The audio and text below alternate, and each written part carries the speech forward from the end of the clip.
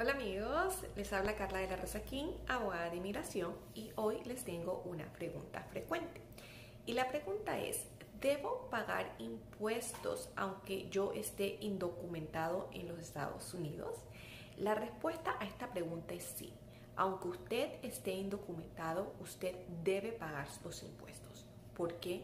Porque es la ley.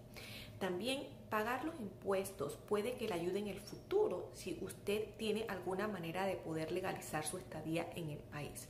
Por ejemplo, si usted puede demostrar que usted siempre ha pagado sus impuestos, aunque usted ha estado indocumentado, eso le va a ayudar a mostrar que usted tiene buen carácter moral.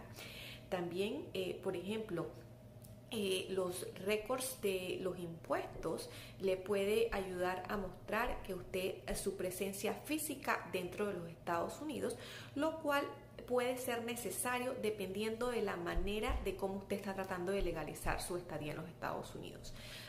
Eh, por ejemplo, también si usted está enfrente de un juez de inmigración, el enseñarle que usted siempre ha pagado sus impuestos puede ser un factor positivo que puede ser tomado en cuenta por el juez al momento que él o ella va a rendir una decisión en su caso. Entonces es bien importante que aunque ustedes estén indocumentados, ustedes paguen sus impuestos en los Estados Unidos. Ahora, hay muchas personas que dicen, oh no, yo no puedo pagar impuestos porque no tengo un seguro social válido.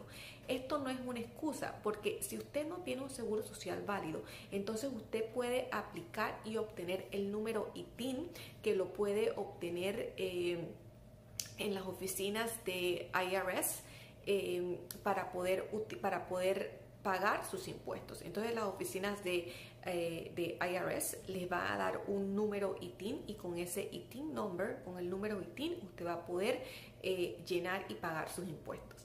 Eh, entonces, no se les olvide que es muy importante que aunque usted esté indocumentado en este país, usted debe pagar sus impuestos. Si tiene alguna pregunta sobre este u otro tema relacionado a inmigración, por favor llámeme al 773-366-1214 y programe una cita conmigo. Espero que este video les haya sido de ayuda. Gracias por verlo.